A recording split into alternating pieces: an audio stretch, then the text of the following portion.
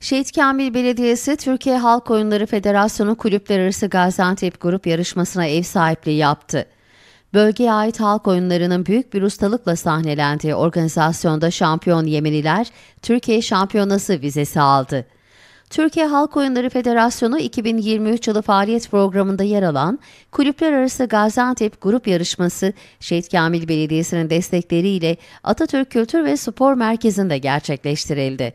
Organizasyonun açılış seremonisinde halk oyunlarına gönül veren oyuncuları Şehit Kamil Belediye Başkanı Rıdvan Fatıloğlu, Gaziantep Üniversitesi Spor Bilimleri Fakültesi Dekanı Profesör Doktor Mustafa Özdal, Gaziantep Gençlik ve Spor Müdürlüğü Spor Şube Müdürü İbrahim Halil Polat, Gaziantep Amatör Spor Kulüpleri Federasyonu Başkanı Abdülkadir Gözegir, Şehit Kamil Halk Eğitim Merkezi Müdürü İbrahim Halil Berk'le Türkiye Halk Oyunları Federasyonu Teknik Kurul üyeleri ve çok sayıda branş antrenörü yalnız bırakmadı. Türkiye Halk Oyunları Federasyonu Gaziantep Grup Yarışması açılış seremonisinde sahada ve tribünlerde büyük bir heyecanla yerlerini alan halk oyunları sevdalılarına seslenen Şehit Kamil Belediye Başkanı Rıdvan Fatıloğlu şunları kaydetti.